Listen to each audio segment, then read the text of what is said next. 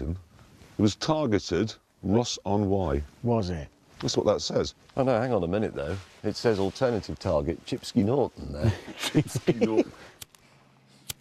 I, think, I think it must be damp.